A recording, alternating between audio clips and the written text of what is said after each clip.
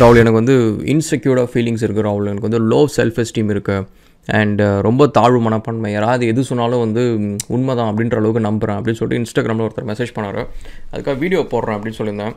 C guys எனக்கு இந்த insecured feeling அப்படின்றது வந்து எங்கே ஆரம்பிக்குது தெரியுமா? நம்ம ஸ்கூல் படிக்கிறப்ப காலேஜ் படிக்கிறப்ப எங்கே வேணாலும் இருக்கட்டும் வீட்டில் ஏதோ ஒரு இடத்துல நம்மள்ட்ட இருக்கிற ஒரு குறை வந்து நம்ம அது ஏற்கனவே அது ஒரு குறையாக இருக்குன்னு ஃபீல் பண்ணுறோம் அது வந்து நம்மளால் கரெக்ட் பண்ணுற குறையாக இருக்கட்டும் இல்லை கரெக்ட் பண்ண முடியாத குறையாக இருக்கட்டும். பட் அது ஒரு குறைன்றது ஒரு விஷயத்தை ஃபீல் பண்ணுறப்ப அதை வச்சு யாராவது க்ளீன் பண்ணாங்கன்னா அந்த நேரத்தில் நம்ம நம்ம கூட நிற்காம அவங்க கூட சேர்ந்து சிரிக்கிறது தான் பார்த்தீங்களா?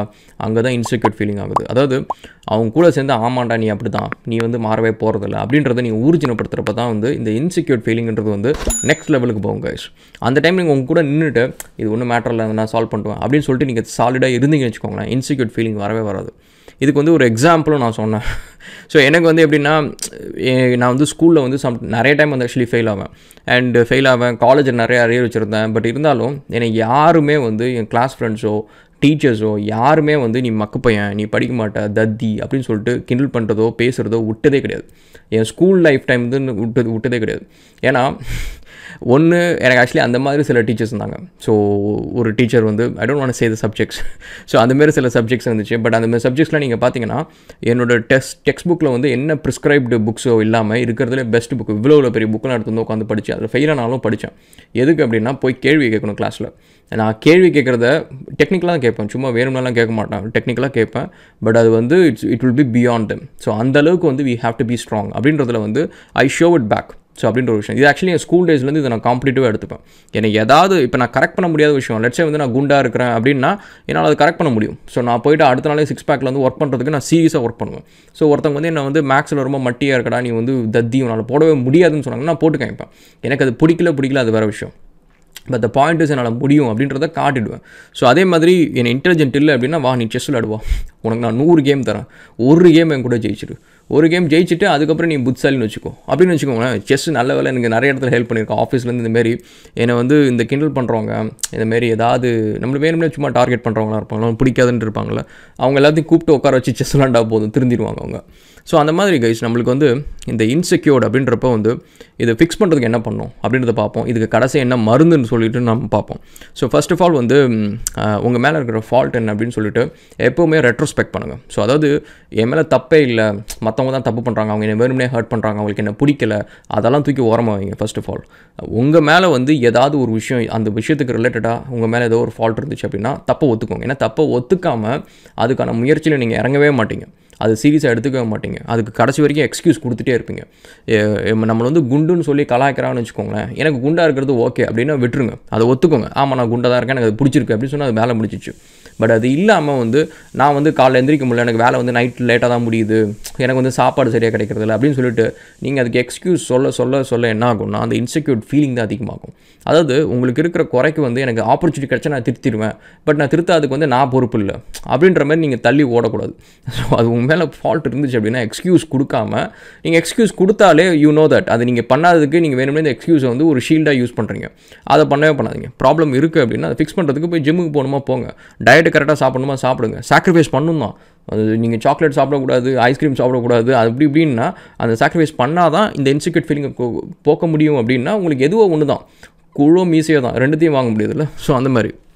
அண்ட் நெக்ஸ்ட் வந்து it life is very short guys உங்களுக்கு இருக்கிற டைம் வந்து இட்ஸ் வெரி ஷார்ட் காலைல எந்திரிச்ச உடனே வந்து ராகுல் எனக்கு ரொம்ப இன்செக்யூர்டாக இருக்குது எனக்கு வந்து ரொம்ப டிப்ரெஸ்டாக இருக்குது அப்படின்னு சொல்லிட்டு we don't have time to waste it இருந்தால் செம்ம ராஜா மாதிரி சும்மா ஜாலியாக இருக்கணும் பெருசாக சாதிக்கணும் நம்ம அச்சீவ் பண்ண மாதிரி எவ்வளோ அச்சீவ் பண்ணக்கூடாது. ஸோ அப்படின்ற மாதிரி வந்து we have to set a benchmark அப்படின்றப்ப நீங்கள் யோசிச்சு பாருங்களேன் கழிச்சு நீங்கள் வந்து எத்தனையோ பேருக்கு வந்து நம்மளுக்கு இன்றைக்கி வந்து நான் ஒரு நைட்டு காலை காத்தால் ஒரு பதினோரு மணிக்கு ஜாலியாக கேம் விளாண்டுட்டு வீடியோ போட்டு அதுக்கப்புறம் ஆஃபீஸ் வேலையை ஆரம்பிக்கிறேன். ஸோ இது வந்து எத்தனை பேரால் முடியும்? சில பேர் அஞ்சு மணிக்கு எந்திரிச்சு ஆஃபீஸ் போகிறாங்க நாலு மணிக்கு எந்திரிச்சு ஆஃபீஸ் போகிறாங்க நைட்டு பதினோரு மணிக்கு வராங்க.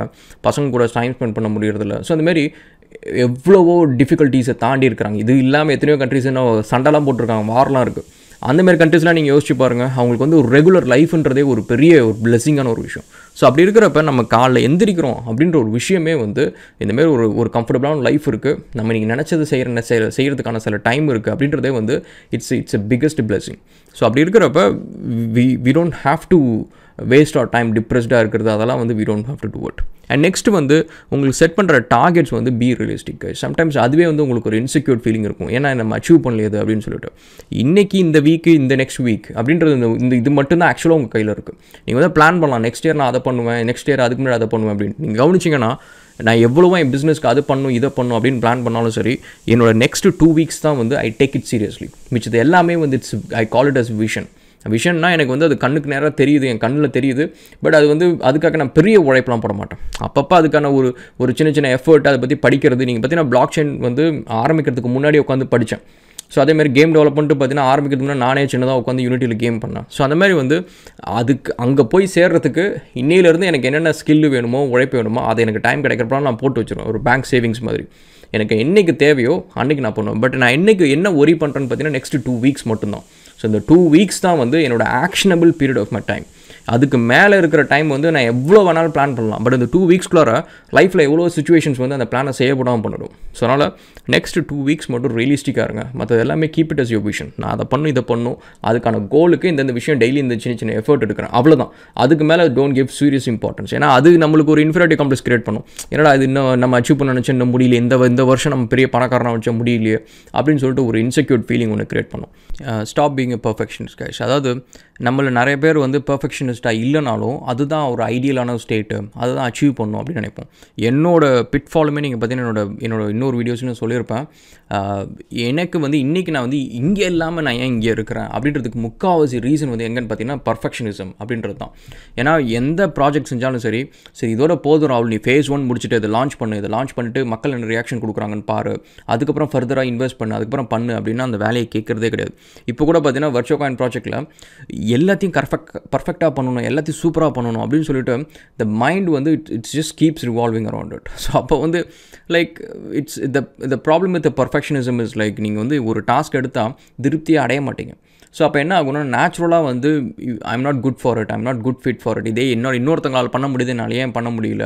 அப்படின்னு சொல்லிட்டு யூ ஸ்டார்ட் கம்பேரிசன் இந்த மாதிரிலாம் விஷயம்லாம் பண்ண ஆரம்பிப்பீங்க. ஸோ அதனால் stop being perfectionist be realistic இப்போ வந்து கொஞ்சம் கொஞ்சம் வந்து I'm trying to change myself but இது இன்னமும் பார்த்தீங்கன்னா வந்து இட்ஸ் அ டிஃபிகல்ட் திங் ஏன்னா ஒரு ரீசன் வந்து வரைகிறவன் ஆர்டிஸ்ட்டு ஸோ எல்லாமே கொஞ்சம் அழகாக வரையணும் அப்படின்னு சொல்லிட்டு பர்ஃபெக்டாக வரையணும் அப்படின்றதான் இன்ட்ரிகேட் ட்ராயிங்ஸ் வந்து என்னோட நேச்சர் ஸோ அதனால் வந்து இது ஒரு ஹேபிட்டே எனக்கு கரெக்ட் பண்ணுறது ரொம்ப கஷ்டமாக இருக்குது பட் இந்த ஹேபிட் டெவலப் பண்ணிக்காதீங்க. உங்களுக்கு இல்லை அப்படின்னா ட்ரைங் டு பி பர்ஃபெக்ட்ன்றது வந்து no one is perfect just keep it keep it aside and focus on mission என்னோட கோல் இது என்னோட டாஸ்க் இது நான் இதை தான் டெலிவர் பண்ணணும் அப்படின்னா ஜஸ்ட் ஃபோக்கஸ் ஆன் இட் ரொம்ப பர்ஃபெக்டாக இருக்கணும் அப்படின்றது வந்து அந்த மென்டாலிட்டி டெவலப்பே பண்ண தேவையில்ல. எனக்கு ஏன்னா என்னை பொறுத்த வரைக்கும் அதை கஷ்டப்பட்டு டெவலப் பண்ணி அது வேஸ்ட் ஆஃப் டைம் தான் நினைக்கிறேன். Wasted so much of my time and next வந்து have a growth mindset guys நம்மளுக்கு இந்த க்ரோத் மைண்ட் செட் இருந்துச்சுன்னு வச்சுக்கோங்களேன் அதாவது வித்தவுட் ப்ராப்ளம்ஸ் வந்து the mind will not look for solution so நம்ம இன்றைக்கி உலகத்தில் இருக்கிற எல்லா விஷயமும் ஸோ இந்த கீபோர்டு ஏன் இந்த ஸ்ட்ரக்சரில் இருக்குது ஏன் குவாலிட்டியில் இருக்குது அண்ட் uh, ஏன் வந்து இந்த ஃபோன் வந்து இந்த இந்த ஃபார்ம் ஃபேக்டரில் இருக்குது அப்படின்னு சொல்லிட்டு ஒவ்வொன்றுக்கும் பின்னாடி நீங்கள் பார்த்தீங்கன்னா தெர் வாஸ் அ ப்ராப்ளம் அந்த ப்ராப்ளத்தை சால்வ் பண்ணுறதுக்கான சொல்யூஷனாக தான் இந்த மாதிரி இந்த மாதிரி இருக்குது ஜஸ்ட் நாட் ப்ராடக்ட் டிசைன்ஸ் நம்ம லைஃப் ஸ்டைலாக இருக்கட்டும் நம்ம லைஃப்பில் வந்து ஹேண்டில் பண்ணுற சுச்சுவேஷன்ஸாக இருக்கட்டும் எல்லாமே வந்து the based on how we handle a problem தான் வந்து we start getting mature so அப்படின்றப்ப வந்து இந்த க்ரோத் மைண்ட் செட் வந்து it's very important to avoid insecurity so அதனால் பீயிங் ஹேவிங் ப்ராப்ளம்ஸ் வந்து it's not entirely a bad thing so ஏன்னா அதுலேருந்து தான் வந்து த நீட் டு சால்வ் இட்ன்றப்ப தான் வந்து the need to earn money so the need to skill up the need to get fit அப்படின்னு சொல்லிட்டு ஒவ்வொரு ப்ராப்ளத்துக்கு அப்புறம் தான் வந்து தெர் இஸ் அ நீட் அப்படின்ற ஒரு விஷயம் இருக்குது அந்த நீடுக்காக நம்ம ஓட ஆரம்பிக்கிறோம். ஸோ அதனால் Uh, இன்செக்யூர் ஃபீலிங் இருந்துச்சுன்னு வச்சுங்களேன் இதை கான்கர் பண்ணுறது ரொம்ப பெரிய விஷயமே கிடையாது. ஜஸ்ட் பில்டு கான்ஃபிடன்ஸ் கைஸ் கான்ஃபிடன்ஸ்ன்றது வந்து ஓஸில் வந்துடாது and you have to put effort and உழைப்பு இல்லாமல் கான்ஃபிடன்ஸ் வரவே வராது. Hands on be hands on and நிறைய உழைப்பு போடுங்க. And it's very easy to beat insecurity okay will catch up again another video guys. And thank you so much and cheers.